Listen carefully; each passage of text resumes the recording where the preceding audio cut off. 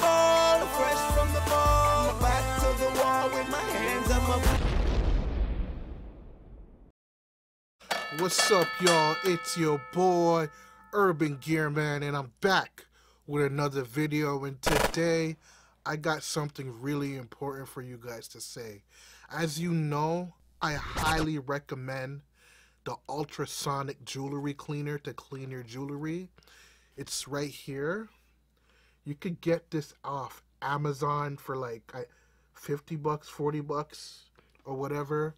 This is the best thing to clean your jewelry. I love it so much. I'm probably gonna do a how-to video on how to use this one day or whatnot. But I'm telling you, get this. I highly recommend it. But now back to the topic. When you're using this, do not put certain types of jewelry in it. Yes, I highly recommend it to use it, but certain types of jewelry I would not put it in there a lot or at all. So let me try and explain this to you guys.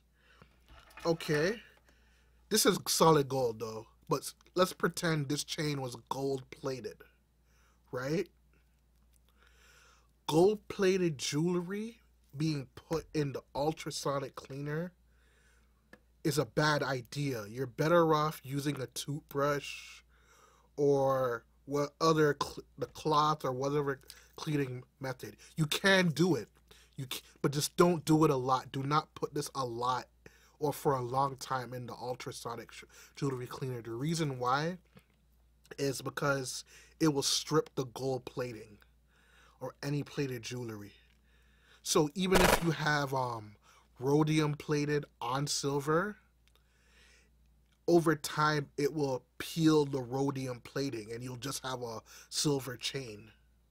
You know, I recommend using it only once a year or once every six months if you it got really dirty and you really can't do it or whatever. But frequently using the ultrasonic jewelry cleaner on gold plated jewelry is a big no no. Don't do it. If you do it, your gold plated's going to fade and the girls ain't gonna want to talk to you no more. You know what I'm saying? So use a toothbrush and it doesn't matter if it's gold plated, it could be the rhodium plated or whatever plating you have. So I recommend not putting it in there a lot. You can, and if you do do it, don't put it for a long time. Lightly do it. Another thing that you should not put in there are your loose rings. You see this? A diamond came out of this. I don't know if you could see, but a diamond's missing out of this, right? I suspect it was the ultrasonic cleaner or whatever. But I do have a video showing you guys that all stones come out regardless. But if you have rings with loose stones, I don't know any rings or any jewelry, even chains. Do not put your Cuban chain. Do not put your Cuban link in the ultrasonic jewelry cleaner. A stone will pop out. I don't care if you got it from Trax NYC. I don't care if you got it from a the high class jeweler. Loose stones pop out. Do not put them in there. Like I'm not saying they're gonna um disappear right away but if you constantly, constantly put it in the ultrasonic cleaner, a stone or two is gonna pop up, pop out eventually, because the way the ultrasonic cleans it, um, it uses ultra lights and it, it it's a little bit of force that gets rid of the um. It'll, it'll shake up the stones. It'll shake up the stones. So and there's nothing holding it in place. If you're gonna use an ultrasonic jewelry cleaner, I recommend doing it for a tennis chain, a solid gold chain, or a silver with rhodium plated. You can do it, but the rhodium plated might come off on the silver. But you could use silver, gold, regular silver on it, or any jewelry that has prongs. You see this ring? I'm selling it on my website. The link is in the description. The Get Fly store. My favorite ring. I highly recommend you get it with a tennis chain but if you can see, it's it has prongs. So there's four things holding it in place so the stone can't get loose.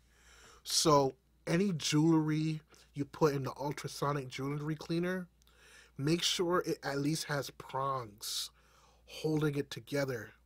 And that way you could use it without any worry unless you have it plated. You know what I mean? So yeah, the loose stones. So I don't know if you can see the difference.